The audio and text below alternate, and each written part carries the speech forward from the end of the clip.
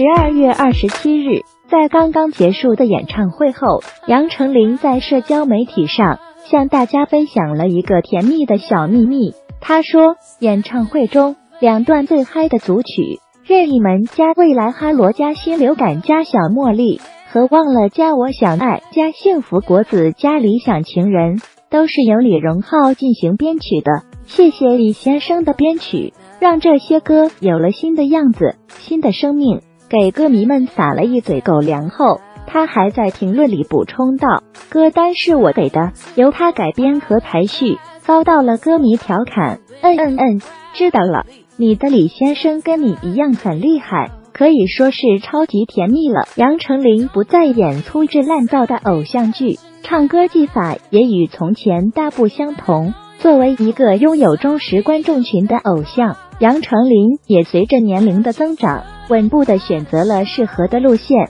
这是音乐的奇妙，也是企划和运作的成功。